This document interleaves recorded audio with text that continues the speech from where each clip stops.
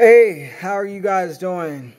Thank you so much for tuning into Brian's Place. Uh, just want to share something with y'all. Heart's been heavy. Heart's been heavy. Just want to share, vent. Um, I'm sure many of you watching this feel the same. So, yesterday in Minneapolis, George Floyd died. Now, many of you may not know who George Floyd was, but to someone, he was a father. To someone, he was a husband. To someone, he was a son. But to a Caucasian police officer, all he was was another black man. Now, let me set the record straight. In no way is this any type of attack against against Caucasians, against white people.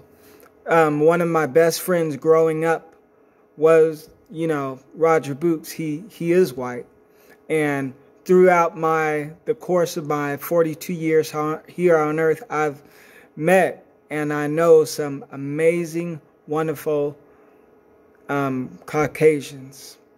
And also, in no way is this any type of attack against police officers in general.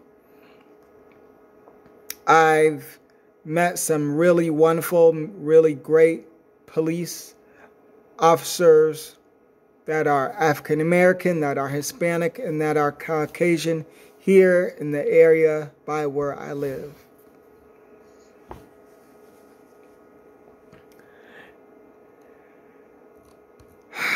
It's it's it's heavy, y'all. So I've met some great, you know, great police officers, but unfortunately, all it takes is a few bad ones to mess it up for the rest. So George Floyd.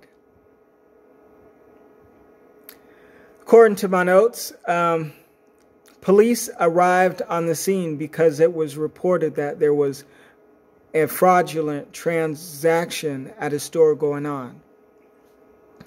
And according to the police, Mr. George Floyd tried to resist arrest.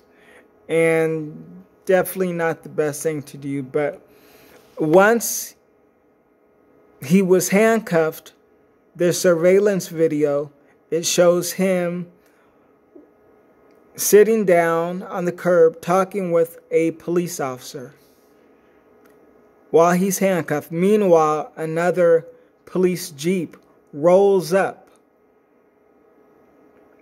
And so that's where the surveillance footage stops for that's where the surveillance footage stops. And so a bystander who happened to catch what happened from that point on on his phone, recording with his phone. And according to what the bystander recorded, Mr. George Floyd, who was still in handcuffs, was now laying on the ground in the street with his head right next to the back tire of the police jeep that had just rolled up moments ago and his he was handcuffed. He was on the ground. His face was on the ground. And another police officer's knee was in his neck.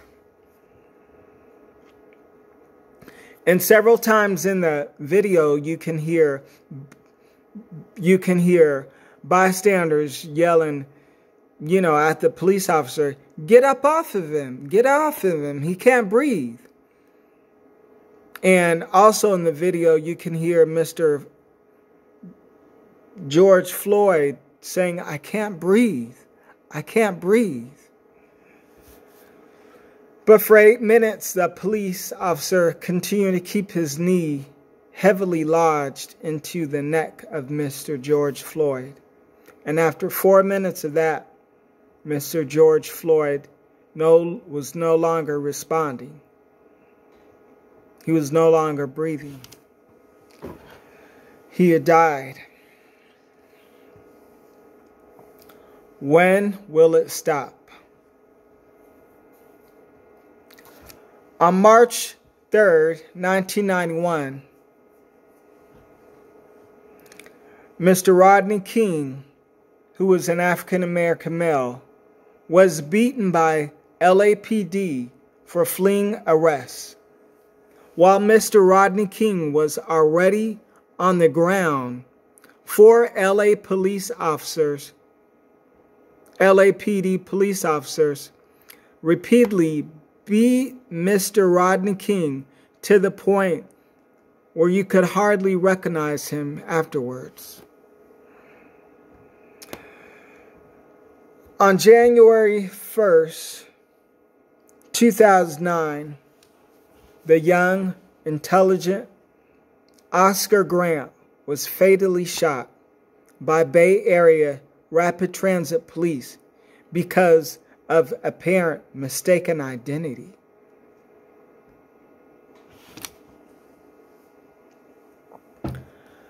On July 17, 2014, Mr. Eric Gardner who was also an African American male, was approached by NYPD on a suspicion that he was selling cigarettes without a tax stamp. And as officers tried to arrest Mr. Gardner, Mr. Gardner refused arrest at first.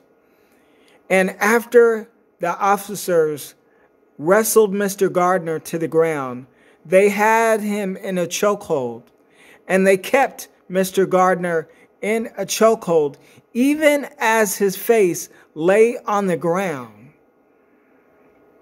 And not nine, not ten, but 11 times Mr. Gardner repeated the words, I can't breathe. I can't breathe. I can't breathe. Mr. Eric Gardner lost consciousness, and he died seven minutes later. And now, Mr. George Floyd.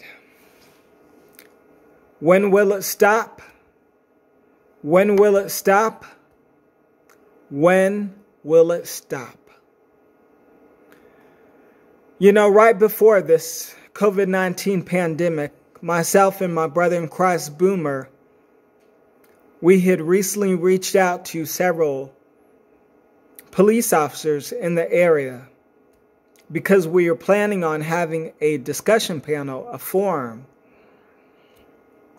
for the community to help try to bridge the gap between the community and the police and the law enforcement to let the community know that the law enforcement are here to help and to try to help rebuild some type of trust But with incidents like this, it makes it hard. As the Minneapolis Mayor Jacob Frey said, being black in America should not be a death sentence. Being black in America should not be a death sentence. Again, I will ask,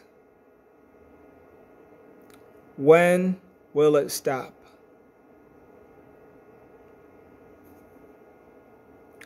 Thank you again for tuning in. I've had many people ask me how they can support my YouTube channel. There's several ways you can support it you can definitely subscribe and you can also support it financially by Cash App.